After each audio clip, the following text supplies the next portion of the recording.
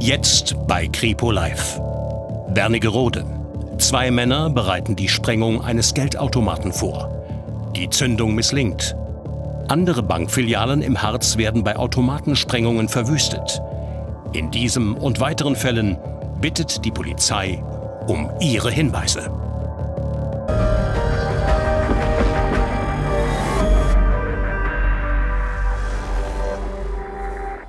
Einen schönen guten Abend Ihnen und willkommen zu Kripo Live. Zuerst nach Thüringen, nach Mühlhausen. Hier sucht die Polizei einen Brandstifter. Und vielleicht waren es sogar auch mehrere, die mitten in einem Wohngebiet in einer Tiefgarage Feuer legten. Die Tiefgarage brennt. Mike Scholze filmt die Flammen von seinem Balkon aus. Ich war einfach nur noch geschockt und komplett am Boden zerstört. Vor allen Dingen wusste ich ja genau, da wo die Flammen rausschlagen, steht unser Auto. Auch das Auto von Matthias Kellerer brennt komplett aus. Übrig bleibt nur verkohltes Metall. Ich wollte es erst nicht wahrhaben. Es ist so. Wir haben die Polizeiabsperrung gesehen. Man kann es einfach nicht fassen. Man weiß, dort wo es gebrannt hat, steht das eigene Fahrzeug und man kann sich ungefähr ausmalen, in welchem Zustand er sich befindet. Und da bricht erstmal alles zusammen. Die Wohnanlage an der Jakobistraße in Mühlhausen. Unter diesem Spielplatz befindet sich die Tiefgarage. Wer in den Häusern ringsum wohnt, kann hier einen von rund 100 Parkplätzen anmieten. Also ich habe den Parkplatz gemietet, da ich hier im Viertel wohne. Ganz wenig freie Parkplätze zur Verfügung stehen. Es ist ein abgeschlossenes Gelände, es sind fest vergebene Parkplätze und da dachte ich, ist das Auto sehr gut aufgehoben. Doch am 22. April 2024, kurz nach 23 Uhr, betreten ein oder mehrere Unbekannte die Tiefgarage und stecken Fahrzeuge in Brand. Die Flammen breiten sich schnell aus. Wir können auch nicht eindeutig sagen, wie die Fahrzeuge in Brand gesetzt wurden. Den Einsatz von Brandbeschleuniger können wir aber nicht ausschließen. Durch die Lüftungsschächte schlagen die Flammen ins Freie. Eine Anwohnerin ruft die Feuerwehr. Fotos vom Tag danach zeigen, mit welcher Zerstörungskraft das Feuer hier gewütet hat. Von manchen Fahrzeugen bleiben nur noch Rahmen und Karosserie. Der Verlust ist für mich enorm, da ich äh, sehr viel Arztwege äh, machen muss mit sowohl meiner schwerstbehinderten Tochter, mit meiner Frau, auch mit meiner Mutter.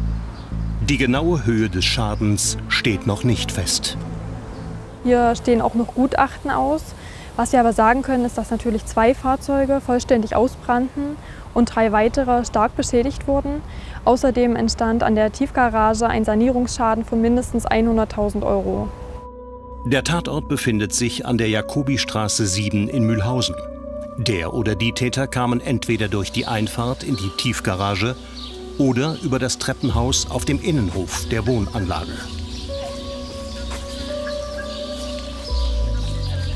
Anwohner Matthias Kellerer ist Justizbeamter.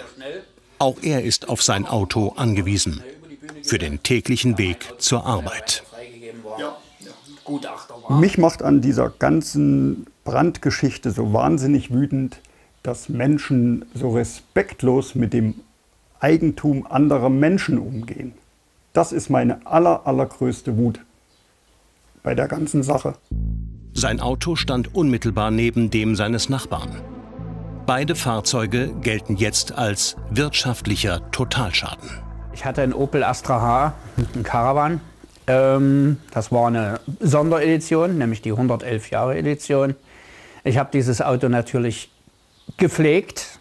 Ich habe viele, viele Reparaturen an diesem Fahrzeug durchführen lassen, damit ich mit diesem Fahrzeug immer einsatzbereit bin.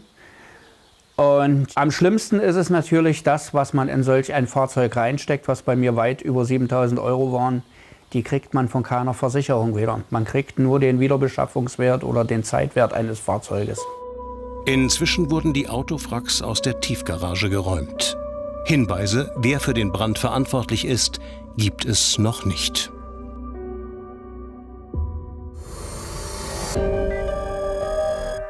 Möglicherweise können Sie jetzt helfen. Wer hat am Abend des 22. April im Wohngebiet um die Jakobistraße in Mühlhausen etwas beobachtet, das mit der Brandstiftung in Verbindung stehen könnte? Wenn Sie Hinweise geben können, melden Sie sich bitte bei der Polizei in Mühlhausen unter der Telefonnummer 036 01 4510. So sieht's aus, wenn Kriminelle einen Bankautomaten in die Luft jagen, um an das Geld zu kommen. Das ist in Blankenburg im Harz aufgenommen. Da hat eine Diebesbande im Januar das gesamte Erdgeschoss einer Sparkasse verwüstet. Und diese Tat war kein Einzelfall. Sie gehört zu einer ganzen Serie von Automatensprengungen im Harz. Es ist unklar, ob das immer dieselben Täter sind. Doch begonnen hat diese Serie in Wernigerode. Und dort scheiterten die Täter, lieferten aber reichlich Material für die Überwachungskamera. Zwei Männer bereiten die Sprengung eines Geldautomaten vor. Sie wollen an die Geldkassette im Innern des Geräts gelangen. Wir gehen davon aus, dass die beiden Täter äh, wussten, dass es dort eine Videoaufzeichnung in den Räumlichkeiten gibt, denn beide waren vermummt und äh, haben sich auch in den Räumlichkeiten so bewegt, ähm, dass sie eben auch in die Kameras geschaut haben, weil sie sich ihrer Sache relativ sicher waren. Tatort ist die Harzsparkasse am Platz des Friedens in Wernigerode. Derzeit wird die Filiale umgebaut. Die Attacke auf den Geldautomaten geschah vor dem Beginn dieser Bauarbeiten am 17. Dezember 2023. Es ist ein Sonntag, kurz nach 5 Uhr. In einer Sporttasche mit auffälligem Aufdruck transportieren die zwei Männer eine Gasflasche. Auf den Videoaufnahmen sehen wir, wie die Täter zunächst den Monitor aufgehebelt haben. Und jetzt versuchen sie mit diesem Gasgemisch dieses einzuleiten in den Automaten. Und dann legen sie gerade äh, quasi eine Lunte mit einem anderen Gas. Und jetzt versuchen sie gleich mit Feuer das Ganze zur Explosion zu bringen. Jetzt gerade haben sie äh, ein Papierstück reingelegt und versuchen es eben mit diesem brennenden Papier in Brand zu setzen. Aber die Filiale hatte eine Sicherungsanlage verbaut und äh, dementsprechend kam es nicht zur Explosion. Jetzt versuchen die Männer, den Automaten mit dem Brecheisen zu öffnen. Doch auch das gelingt ihnen nicht. Ohne Beute müssen sie die Sparkasse verlassen. Aktuell können wir noch keine Auskunft dazu treffen, ob es sich bei den Tätern möglicherweise um welche aus dem Ausland handelt, die dort professionell geschult wurden, oder ob es Täter aus dem Nahbereich sind, die, ähm, ja, salopp gesagt, auch mal ihr Glück versucht haben. Nach der Tat in Wernigerode folgen weitere Angriffe auf Geldautomaten im Harz. Im Februar wird in Thale ein Automat der Volksbank gesprengt. Die Täter erbeuten ca. 50.000 Euro und hinterlassen einen Schaden von mehr als 200.000 Euro. In Blankenburg kommt es kurz hintereinander zu zwei ähnlichen Taten, beide in der Langen Straße. Zunächst brechen Diebe in den Kundenraum der Sparkasse ein und zünden an beiden Geldautomaten Sprengsätze. Die untere Etage wird komplett zerstört.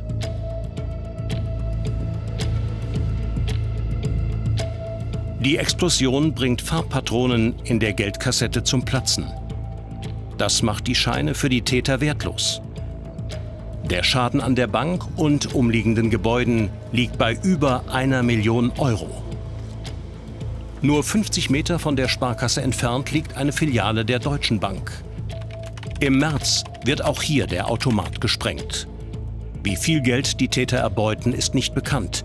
Doch auch hier liegt der Sachschaden im sechsstelligen Bereich.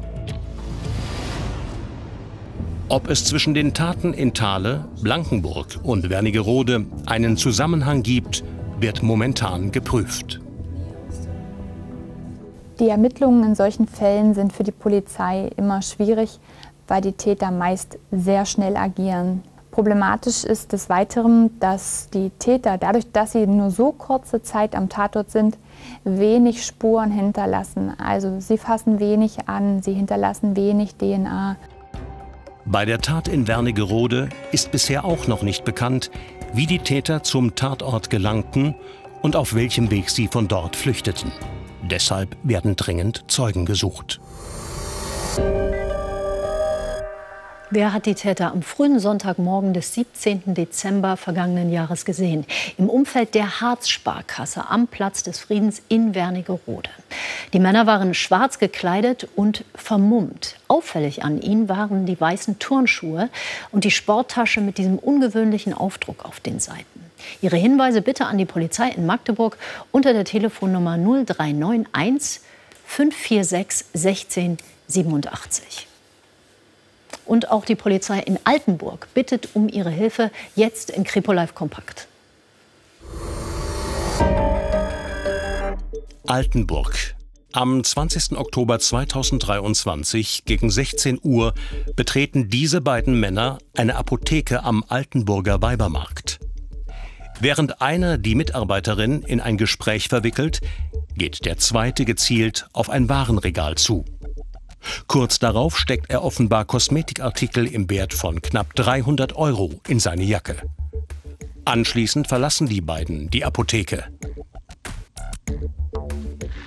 Erkennen Sie die beiden Männer? Ihre Hinweise bitte an die Polizei Altenburg unter der Telefonnummer 03447 4710. Bautzen. Die Polizei fahndet nach diesem Mann.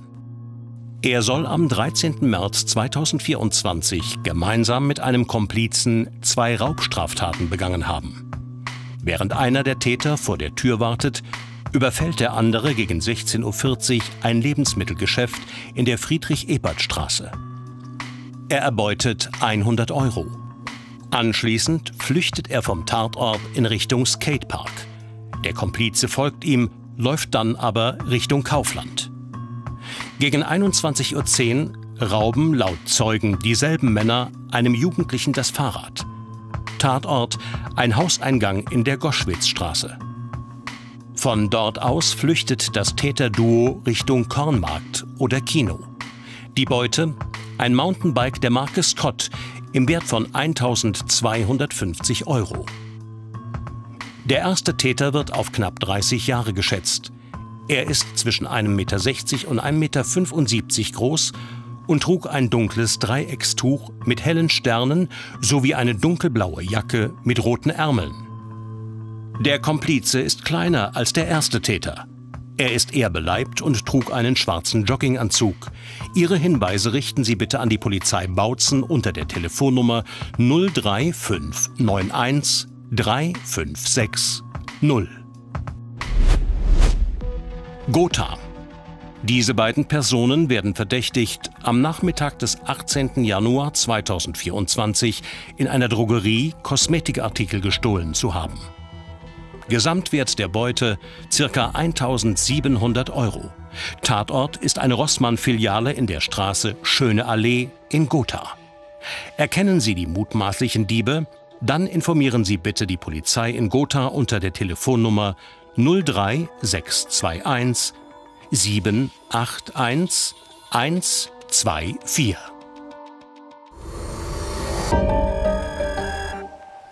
GPS-Navigation kennen wir alle aus dem Auto oder vom Handy. Diese Navigation per Satellit wird aber auch in der Landwirtschaft immer wichtiger. Ohne GPS auf dem Traktor keine Aussaat und keine Ernte.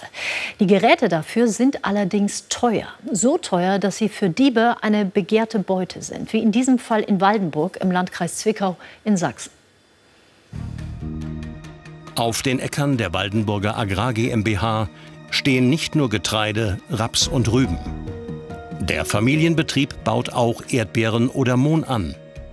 Viele verschiedene Kulturen auf Feldern, die über 14 Gemeinden verstreut sind. Ohne moderne und teure Technik kaum zu bewirtschaften. Georg Stiegler leitet das Unternehmen seit 2017 zusammen mit seinem Bruder. Für Anbau und Ernte brauchen seine Traktoren digitale GPS-Empfänger. Mit Satellitenhilfe werden nicht nur Saatgut und Düngemittel ausgebracht. Die Navigationstechnik steuert auch alle anderen in der modernen Landwirtschaft genutzten Geräte. Damit kann der Traktor wiederholungsgenau auf zwei Zentimeter auf dem Feld hin und her fahren.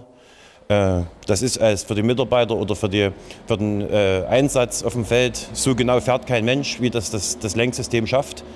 Und in den Kostendruck, den wir stecken, kann sich keiner eine, eine Verschwendung leisten. Und auch vom Umweltaspekt wollen wir es auch nicht. Es sind wahrscheinlich mehrere Täter, die in der Nacht vom 25. auf den 26. April 2024 auf dem Betriebsgelände auftauchen. Gewaltsam dringen sie in die Werkstatt ein. Hier brechen sie fast alle Schränke auf. In einem davon waren die GPS-Empfänger gelagert. Fünf davon stehlen die Diebe. Der Schaden etwa 45.000 Euro.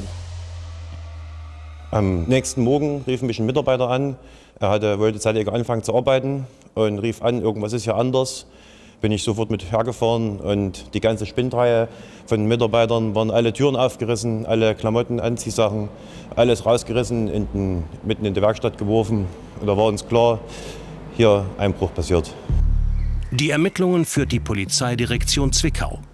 In der Region gab es bereits mehrere ähnliche Diebstähle. Wir gehen davon aus, dass es sich um Täter handelt, die auch überregional aktiv sind und die gezielt nach derartigen GPS-Systemen gesucht haben und dass sie vermutlich die Geräte entweder verkaufen und oder die Geräte in ähm, Landwirtschaftsbetrieben im Ausland dann wieder zum Einsatz kommen. Bei den gestohlenen Geräten handelt es sich um GPS-Empfänger der Serie Starfire von John Deere. Es wurden drei Geräte des Typ 3000 und zwei vom Typ 6000 gestohlen. Außerdem mehrere Monitore. Die GPS-Systeme sind mit Seriennummern versehen und diese Nummern sind zur Fahndung ausgeschrieben. Sie sind aber ansonsten nicht nachverfolgbar. Laut Polizei könnte es sich bei den Dieben um reisende Tätergruppen handeln. Sie gehen offenbar in ganz Mitteldeutschland auf Beutezug. Das Gelände der Waldenburger Agrar GmbH ist von allen Seiten leicht zugänglich. Die Polizei geht davon aus, dass die Täter nicht spontan handeln, sondern die betroffenen Betriebe gezielt aussuchen und vor den Einbrüchen auskundschaften. Jetzt muss der betroffene Landwirt über zusätzliche Sicherungsmaßnahmen nachdenken um auch äh, zukünftig da uns zu wappnen, ist eine, eine Wachschutzfirma engagiert.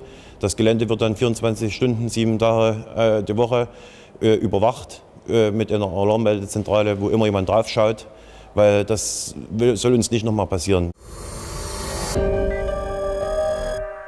Wer sind die Täter? Die Polizei sucht Zeugen, denen im Bereich des Landwirtschaftsbetriebes in Waldenburg Personen aufgefallen sind, die sich auffällig verhalten haben oder auch auffällige Fahrzeuge. Oder sind ihnen womöglich solche GPS-Geräte zum Kauf angeboten worden, auch im Internet? Dann wenden Sie sich bitte an die Polizei Zwickau unter der Telefonnummer 0375 428 4480. Wenn Menschen am Telefon von Kriminellen überrumpelt werden mit einer erfundenen hochemotionalen Geschichte, dann spricht die Polizei von sogenannten Schockanrufen, weil die Angerufenen tatsächlich so schockiert sind, dass sie nicht mehr rational entscheiden können. Und diese Schockanrufe, die nehmen zu. Und immer nutzen die Täter die Hilfsbereitschaft ihrer Opfer aus, weil angeblich ein Angehöriger in Not geraten sei und dringend Hilfe brauche. Wer kann da Nein sagen? Eine Frau aus Thüringen brachten Betrüger mit so einem Anruf jetzt um 26.000 Euro. Es ist ein ruhiger Dienstag für eine 63-Jährige aus Sondershausen. Doch gegen Mittag klingelt plötzlich das Telefon. Am anderen Ende der Leitung ist scheinbar die Schwiegertochter der Frau, angeblich in großer Not. Es meldete sich dann eine weibliche Stimme, die sie mit Mama ansprach und um Hilfe bat. Die Geschädigte ging also davon aus, dass es sich um eine nahestehende Angehörige handelt. In weiterer Folge wurde das Telefongespräch dann an eine weibliche Person übergeben, die sich als Mitarbeiterin der örtlichen Polizeidienststelle ausgab. Ähm, es wurde dann vorgetäuscht, dass die Angehörige einen schweren Verkehrsunfall verursacht hätte mit tödlichem Ausgang und in Haft müsse und zur Abwendung dieser Haftstrafe eine Kautionszahlung erforderlich sei. Die Frau wird aufgefordert, 40.000 Euro zu zahlen. Ich dachte, jetzt ist unser Leben ruiniert. Es war alles so echt. Ich war mir sicher, das ist die Stimme meiner Schwiegertochter. Sie wollte doch nur nach Hause und ich wollte ihr helfen. Es ist so, dass die Opfer eine kurze Gesprächssequenz am Telefon hören, die den vermeintlichen Angehörigen in weinerlicher Stimme zeigt. Dazu kommt, dass die Täter durch den Vorwand, den sie eben vortäuschen, die Opfer in eine emotionale Stresssituation versetzen. Und all diese Faktoren führen eben dazu, dass die Opfer dann tatsächlich denken, dass es sich um ihren Angehörigen handelt und äh, das tatsächlich sich auch sehr realistisch anhört. Die Frau gerät in Panik. Die Anrufer geben sich dann auch mit weniger als der geforderten Summe zufrieden. Sie solle alles geben, was sie hat. Eilig sucht sie Bargeld und Wertgegenstände zusammen. Es sind circa 6000 Euro, die sie zu Hause hat. Auch ihren Schmuck packt sie ein.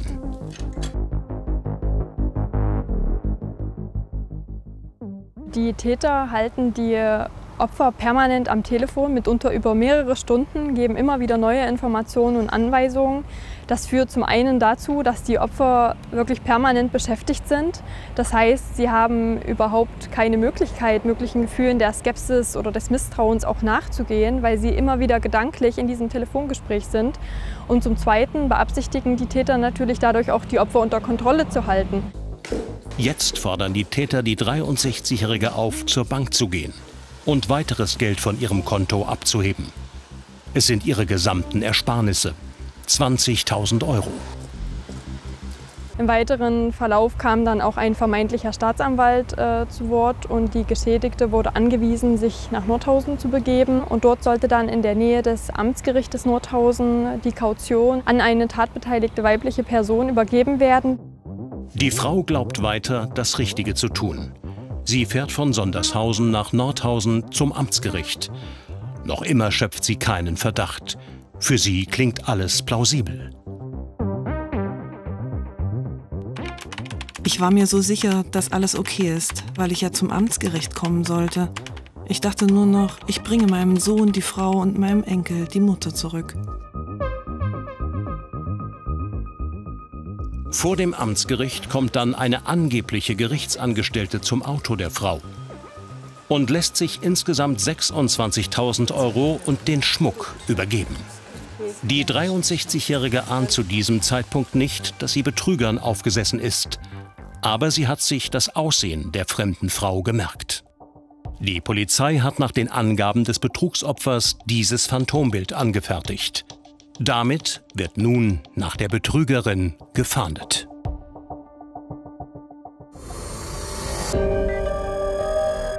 Ja, genau so ist es. Mit diesem Phantombild nach, wird nach der Frau gefahndet, die das Geld und den Schmuck in Empfang genommen hat. Sie ist etwa 1,60 Meter groß, um die 50 Jahre alt, hat schulterlanges blondiertes Haar und sie trug eine auffällige runde Brille. Bekleidet war sie mit einem knielangen Rock und dunkler Jacke. Sie sprach gebrochen Deutsch. Wenn Sie Hinweise geben können, melden Sie sich bitte bei der Kripo Nordhausen unter der Telefonnummer 03631 960. Und die Polizei rät immer wieder zu großer Vorsicht, denn diese Art Telefonbetrug kann wirklich jeden treffen. Ganz wichtig, Polizei oder Staatsanwaltschaften nehmen in Deutschland niemals Geld oder Wertgegenstände entgegen. Sollten Sie einen verdächtigen Anruf von einem angeblichen Verwandten in Not bekommen, dann am besten auflegen und Ihren Verwandten unter der Ihnen bekannten Nummer anrufen. Das war Kripo Live für heute. Alle Telefonnummern und Infos zu den Fällen finden Sie wie immer auf unserer Internetseite und im MDR-Text Seite 377. Hier geht es jetzt weiter mit Wolfgang Lippert und damals war es Ihnen im Namen des ganzen Kripo Live-Teams einen schönen Abend und bis nächsten Sonntag zu Kripo Live.